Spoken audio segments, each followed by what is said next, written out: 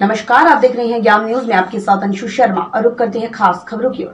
बुलंदशहर में डीएम एवं एसएसपी ने थाना समाधान दिवस के अवसर पर थाना सलेमपुर व थाना शिकारपुर परिसर में सुनी जन समस्याएँ। आज जिलाधिकारी रविंद्र कुमार एवं वरिष्ठ पुलिस अधीक्षक संतोष कुमार सिंह द्वारा संयुक्त रूप से थाना सलेमपुर व थाना शिकारपुर परिसर में थाना समाधान दिवस का आयोजन किया गया।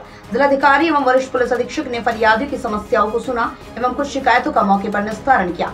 अन्य फरियादियों की शिकायतों का समयबद्ध एवं वास्तविक त्वरित निस्तारण करने के लिए संबंधितों को आवश्यक दिशा निर्देश दिए। विशेष संवाददाता आनंद सिंह। तो ये थी फ़िलहाल की कुछ खास खबरें। बाकी की खबरों के लिए देखते रहिए ज्ञान न्यूज़। नमस्कार।